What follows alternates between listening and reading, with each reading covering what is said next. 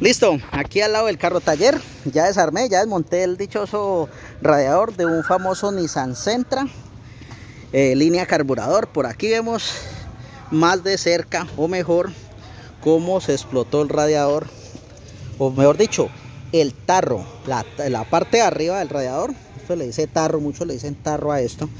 Parte de arriba del radiador de ese Nissan. Cómo se estalló eso. El cliente me comenta que era que mientras estaba pasando la revisión, estaban acelerando a ciertas revoluciones y de un momento a otro esto explotó. Entonces vean, vean esto. Entonces vamos a hacerle una revisión al, al sistema del radiador, las mangueras, la tapa que aquí la llevo. Por acá el motoventilador, aunque el cliente me dice que él lo vio girando, pero no sabemos a qué fuerza está girando. Entonces es muy importante saber a qué, qué potencia tiene ese motoventilador. Entonces en contados momentos vamos a saber eso. Bueno, listo. Ya como pueden darse cuenta, ya retornamos al sitio. Ya está reparado el dichoso y reconocido radiador. Ya, ya está. Él le puso el tanque nuevecito. Por acá tenemos las abrazaderas nuevas para las mangueras, los soportes, todo. Por aquí el refrigerante.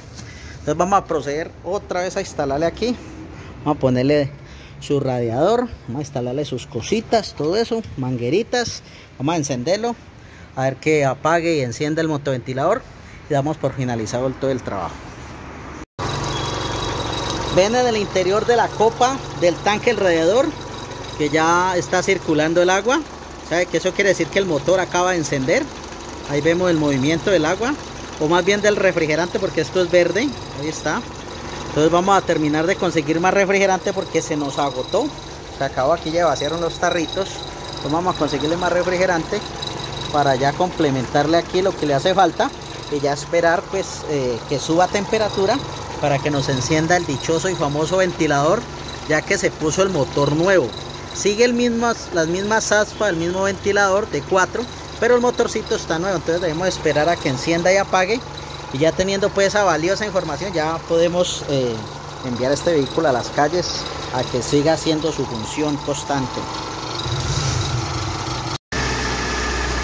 listo ya lleva como 10 minutos de haber encendido la belleza del motor y vamos viendo que por acá empieza a botar un humito ¿sí? una especie de vapor pero lo logren notar Vea, eso es normal porque por acá externamente el radiador pues tiene agua, entonces él empieza a evaporar, entonces por eso se ve como ese vapor aquí, pero eso es normal, no se preocupen, tranquilos. Y vemos pues el funcionamiento aquí del motor, porque por acá tenemos la dichosa y famosa bomba de agua. Ya vieron cómo está eh, funcionando, porque esta también conlleva a generar esa clase de fallas, ¿no? explosiones, todas cosas de que explota a veces el radiador y toda esa vaina. Entonces ya estamos nomás a la espera de que ese motoventilador encienda. Le vamos a pedir al cliente que lo mantenga, pueda acelerar unas 2000 revoluciones para que caliente lo cuanto antes y poder ver cómo prende y apaga el, famoso ventilador. ustedes están a la expectativa de este Nissan de que la temperatura no se le subió ni nada porque está en un lugar de, de diagnosticentro. Ahí vemos el nivel de la aguja, casi a la mitad. Se subió un poco, un poco por lo que no está trabajando el ventilador de forma normal. Entonces aquí ustedes están viendo que el motoventilador está encendido, ahí está funcionando. Pero ¿por qué está funcionando? Porque activamos el compresor del aire acondicionado. En este momento está funcionando el aire acondicionado y lo activa. Pero de forma normal, como viene realmente, no está laborando. Entonces pues ya le toca mirar otro ingeniero experto en la materia, mirar toda esta instalación que estamos viendo aquí, todas estas estas partes fusibles y todo eso, a ver dónde está el lío de por qué no está prendiendo de forma normal el motoventilador.